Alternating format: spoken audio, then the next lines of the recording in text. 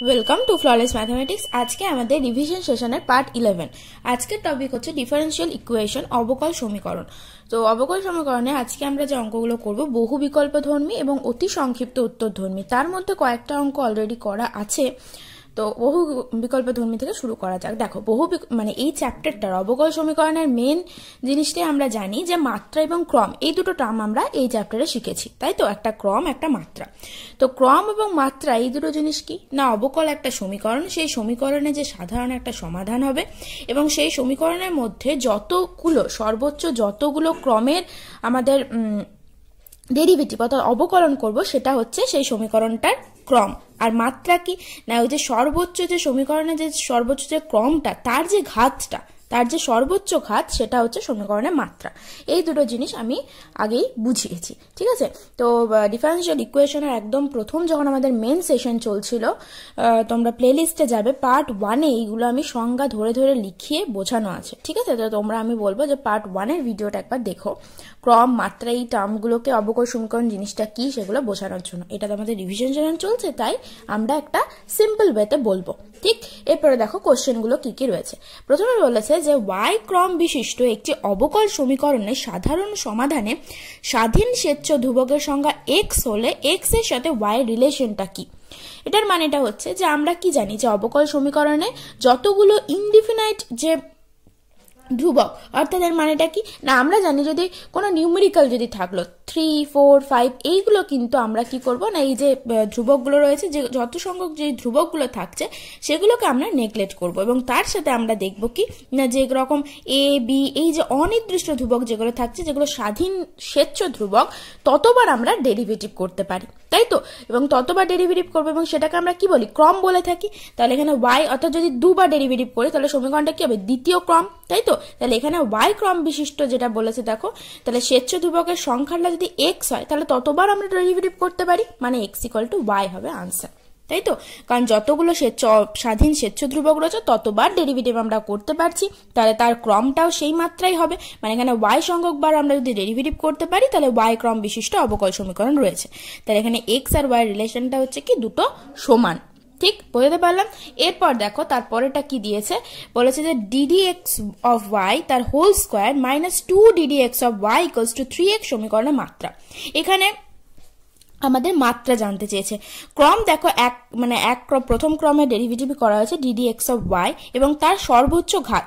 এখানে সর্বোচ্চ ঘাত কত? আছে টু আছে, কারণ এটা ওয়ান তাহলে ওয়ানটা নিশ্চয়ই নট গ্রেটার দেন টু তাই তো কারণ এখানে সবসময় টুটা বড়, তাহলে সর্বোচ্চ ঘাত দুই। তাহলে সমীকরণের মাত্রা হচ্ছে দুই, ঠিক আছে? তারপরেরটা দেখো কি দিয়েছে?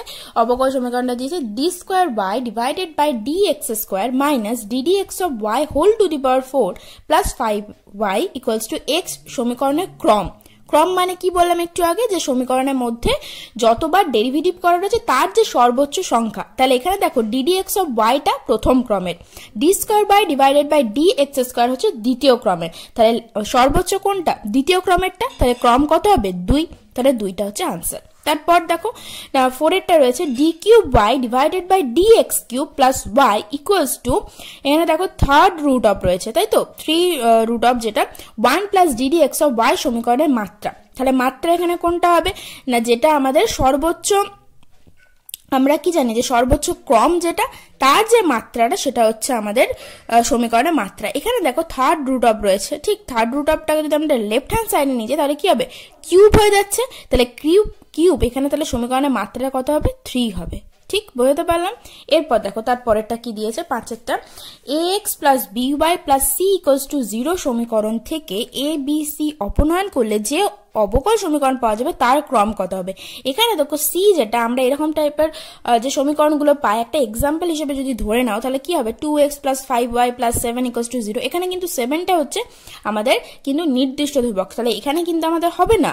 তাহলে এটা আমরা কিন্তু কনসিডার করব না। এখানে তাহলে কোন কতবার আমরা অপনয়ন করতে পারি বা কতবার আমরা অবকল সমীকরণটা কতবার করে পাবো? দুবার ডেরিভেটিভ করতে হবে, কারণ একটা এ আর একটা বি এইগুলোই হচ্ছে স্বাধীন স্বেচ্ছ ধ্রুবক বা ইনডিফিনাইট ইন্ট্রিগাল আমরা যেটা জানি এ বি এম এক্স যেগুলো থাকে সি এটা হচ্ছে কোনো কনস্ট্যান্ট পার্টিকুলার কোনো কনস্ট্যান্ট যেগুলো থাকে, সেগুলো কিন্তু নির্দিষ্ট ধ্রুবকের মধ্যে পড়ছে।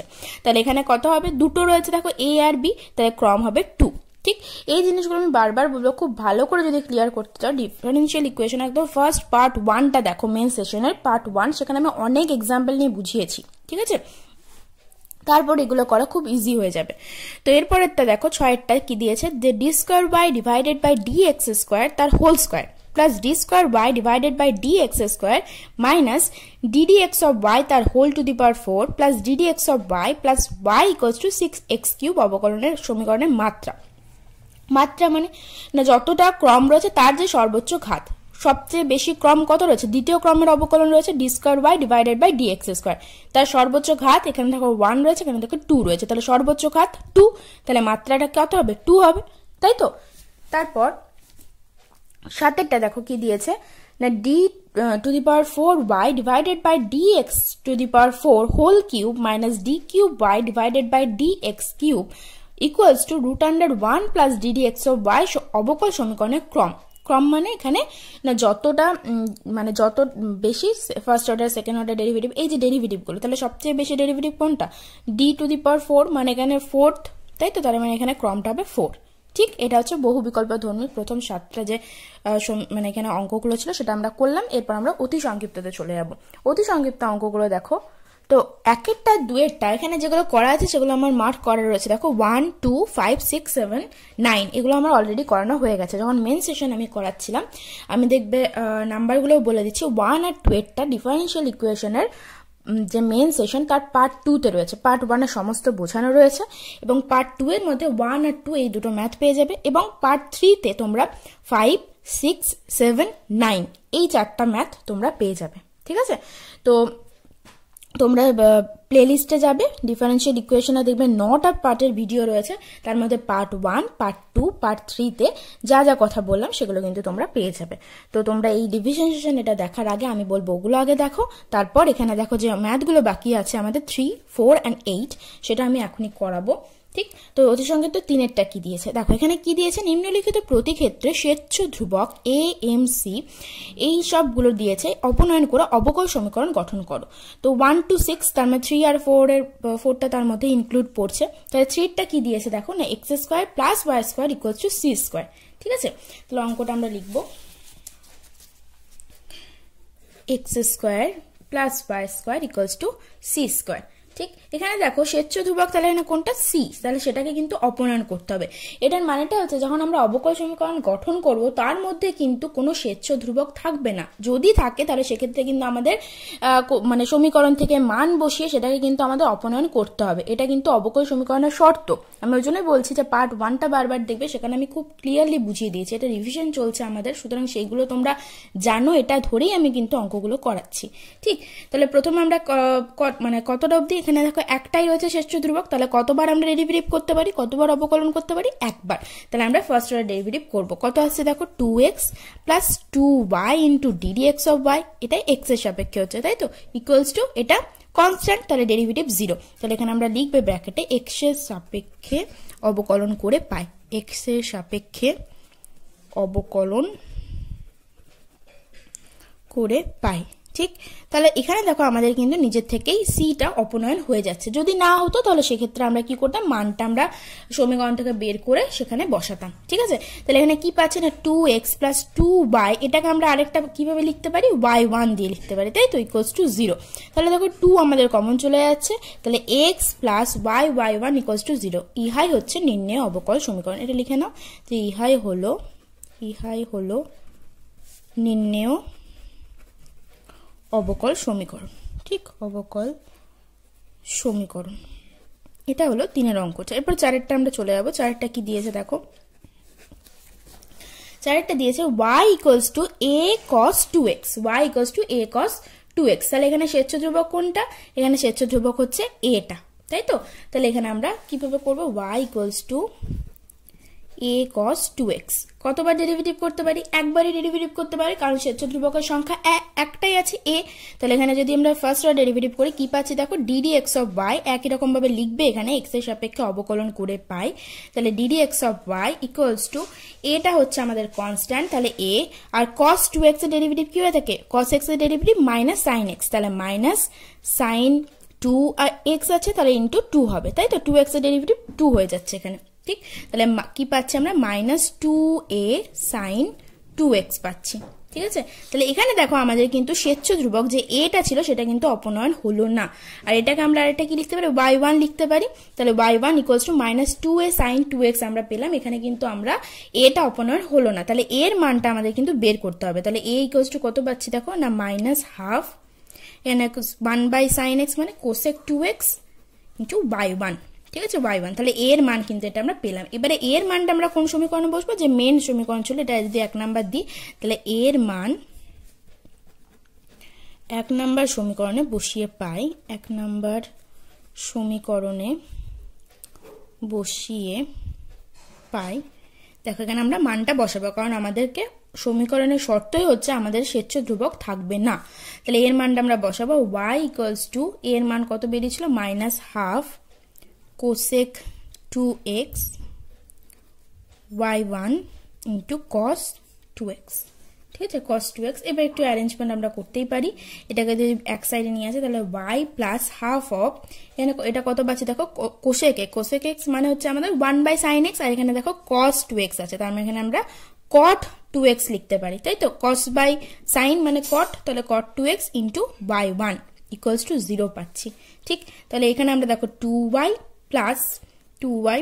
cot two x y one equals to zero পাচ্ছি। তো এটা আমাদের সমীকরণ, তাহলে এটাই হচ্ছে আমাদের অবকল সমীকরণ। অথবা তোমরা আরেকটা রকমও লিখতে পারো ওয়ান বাই এখানে কট টু এক্স মানে কি? One by tan two x তাই তো? তাহলে এটাও একটা লিখতে পারো।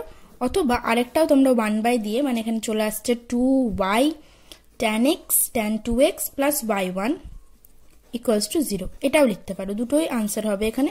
তাহলে এই দুটোই হচ্ছে অবকল সমীকরণ। তাহলে একই রকমভাবে লিখবে, ইহাই হলো নির্ণয় অবকল সমীকরণ। ঠিক আছে? এরপর দেখো আমাদের যেটা করা নেই, সেটা হচ্ছে নাম্বার এইটের অঙ্কটা। এইটা কি দিয়েছে দেখো? দেখাও যে y equals to a e to the power b plus x সম্বন্ধ থেকে এ ও বি অপনয়ন করে d d x of y equals to y সমী অবকল সমীকরণ গঠিত হয়। প্রথম ক্রমের সমীকরণ হওয়ার যুক্তি দাও। তাহলে প্রথমে আমরা অবকল সমীকরণ গঠিত হচ্ছে যেটা, সেটা আমরা আগে মানে দেখব। দেখো এইট ইকুয়ালস টু কারণ দেখাতে বলেছে, তাহলে এইটেরটা কি দিয়েছে? Y equals to eight equals to বলছে y equals to a into e to the power b plus x তাহলে এখানে কটা স্বেচ্ছ দুর্ভোগ রয়েছে এখানে? দেখো, না, এখানে আমরা ডেরিভেটিভটাকে করি। ফার্স্ট অর্ডার ডেরিভেটিভ আমরা করব। তাহলে ফার্স্ট অর্ডার ডেরিভেটিভ আমরা করলাম ডিডি এক্স অফ ওয়াই তাহলে এটা হচ্ছে constant e to the power b plus x e to the power এক্সের formula e to the power x তারপর বি প্লাস এক্সের ডেরিভেটিভ কিন্তু বিটা হচ্ছে কনস্ট্যান্ট আর এক্সের ডেরিভেটিভ ওয়ান তাহলে এখানে আর কিছু হচ্ছে না। তাহলে a into e to the power b plus এক্সই হচ্ছে। তাহলে এটা দেখো ওয়াই এর মানটাই চলে আসছে। তাহলে d d x of y equals to y আসছে। তাহলে এটাই আমাদের সমীকরণ, অবকল সমীকরণ সেটা দেখাতে বলেছিল। তাহলে একটা প্রথমে প্রুফটা আমরা দেখিয়ে নিলাম প্রুফটা এরপর বলেছে, দেখো, যে প্রথম ক্রমের সমীকরণ হওয়ার যুক্তি দাও। না, এখানে আমরা কি লিখতে পারি? দেখো, না y equals to a into e to the power b plus x তাই তো? এবারে e to the power b plus এক্সটাকে কীভাবে ভাঙা যায়? না a into e to the power b into e to the power x এইভাবে ভাঙা যায় তো? কারণ আমরা জানি যে এরকম ঘাতের যখন সূচক আমরা পড়েছিলাম, তখন বলেছিলাম যে এক্সপোনেনশিয়াল ফ্যাক্টরের ক্ষেত্রে দুটো এক্সপোনেনশিয়াল ফ্যাক্টরের গুণ মানে তাদের যে ঘাতগুলো, সেগুলো কিন্তু যোগে যায়, তাই তো?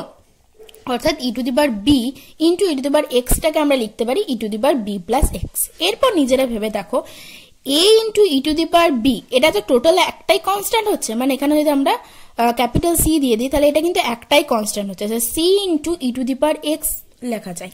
তাই তো?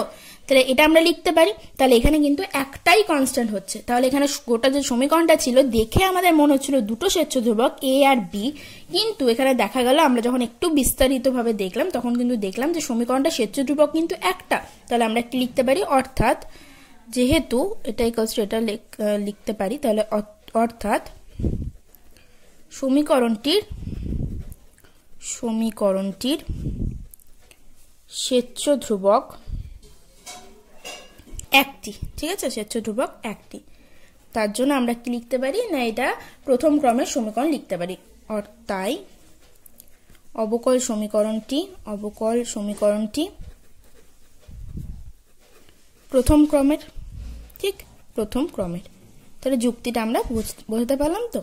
এটাই আমাদের দেখো মানে বলেছিল যে প্রথম ক্রমের সমীকরণ হওয়ার যুক্তি দাও। তাহলে এটাই হচ্ছে তার যুক্তিটা। ঠিক এখানে তোমরা যুক্তি বলে লিখে নাও।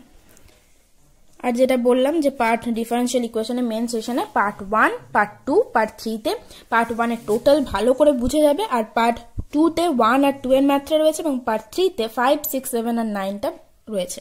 তার মধ্যে যেমন সিক্সেরটা খুব ইম্পর্ট্যান্ট ঠিক? সেটা আমি যখন করিয়েছিলাম তখনও বলেছি, ওই জন্য আমি দুটো মেথডে করে দিয়েছি, ঠিক আছে?